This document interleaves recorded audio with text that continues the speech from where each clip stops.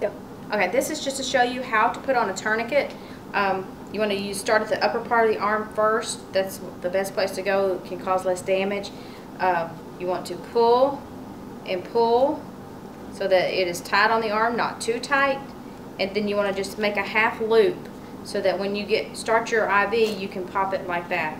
So again, that you pull both ends up, half a loop through, and then you can pull.